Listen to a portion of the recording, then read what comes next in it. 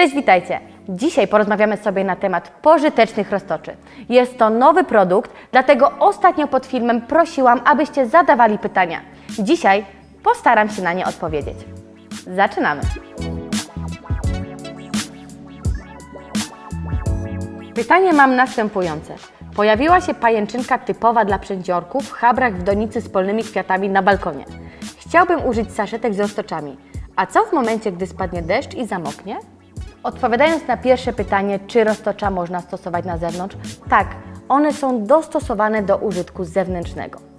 Najlepiej powiesić je pod liściem, ponieważ promienie słoneczne nie będą bezpośrednio padać na opakowanie oraz uchroni to trochę przed deszczem. Dwie korzyści. Jeżeli zacznie padać, to nic się nie stanie naszym roztoczom. Ewentualnie kropla wody może je strącić z liścia, ale nie przeszkodzi to w pracy. A widać je? Powiesiłam te saszetki, ale skąd wiem, czy one wylazły i jedzą? A co jeśli były źle przechowywane lub zginęły w transporcie? Słuchajcie, roztocza widać gołym okiem. Po zawieszeniu trzeba dać im kilka dni, aby populacja się zwiększyła, zjadła tutaj pokarm, który ma i zaczęła wychodzić na zewnątrz. To też jest zależne, u niektórych wyjdą za jeden dzień, u niektórych za dwa, trzy. Wszystko zależy od warunków. My w Zielonym Parapecie gwarantujemy najświeższą dostawę roztoczy.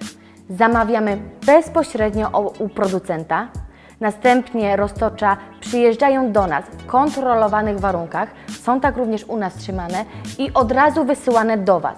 Pod wpływem temperatury budzą się, gdzie do Was przyjeżdżają, zawieszacie je na roślinie i w ciągu kilku dni zaczynają wychodzić.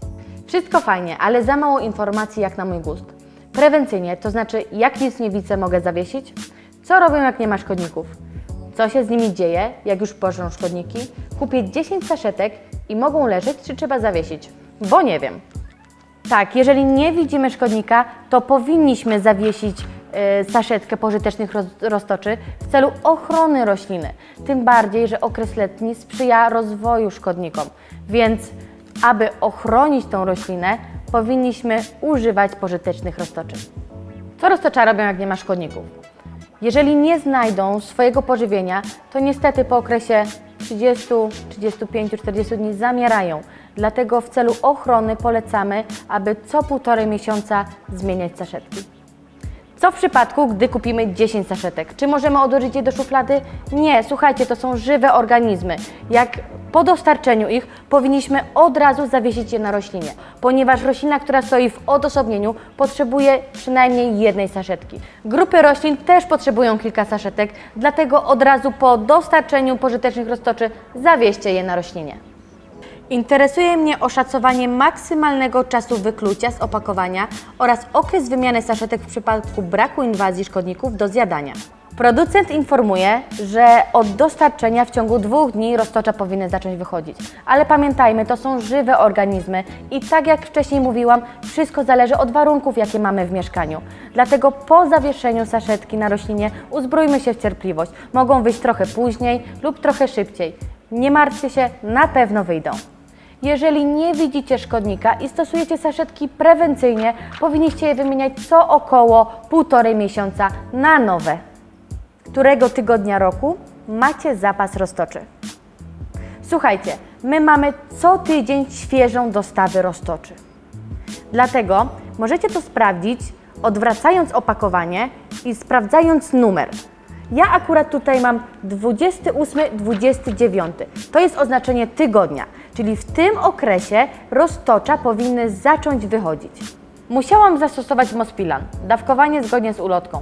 Po jakim czasie od oprysku mogę wypuścić dobroczynka, by jemu nic nie zaszkodziło? Dobre pytanie. Zastosowaliście środek chemiczny, a teraz zastanawiacie się, po jakim czasie możecie wprowadzić pożyteczne roztocze. Firma Kopert, który jest producentem tych roztoczy, znalazła na to rozwiązanie. W opisie pod filmem macie link do porównywarki. Dzięki temu możecie sprawdzić, jaki jest okres karencji pomiędzy danym środkiem chemicznym a wprowadzeniem pożytecznych roztoczy. Czy pożyteczne dla roślin roztocza w żaden sposób nie szkodzi ludziom? Co gdy wyjedzą wszystko? Pożyteczne roztocza nie zaszkodzą ludziom. One żywią się tylko i wyłącznie innymi roztoczami, które żerują na roślinach, więc nie znajdą u nas pożywienia. Jeżeli chodzi o dobroczynka kalifornijskiego, to gdy już wszystko zje i nie będzie miał pokarmu, to może się jeszcze przez krótki czas żywić piórkiem, ale i tak w późniejszym czasie cała populacja bez pokarmu umrze. Hej, czy te roztocza, swirski i dobroczynek są widoczne gołym okiem? Powiesiłam saszetki na kwiatkach z 3 dni temu i nic nie mogę dojrzeć. Tak, roztocza są widoczne gołym okiem, ale pamiętajcie, że one są bardzo małych rozmiarów, więc musicie wytężyć wzrok.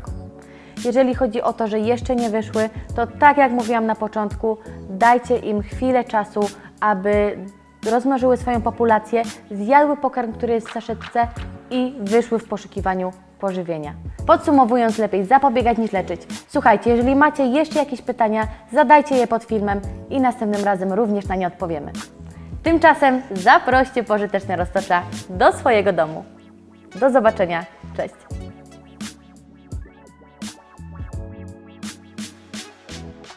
Cześć, witajcie. Dzisiaj porozmawiamy sobie na temat pożytecznych roztowych.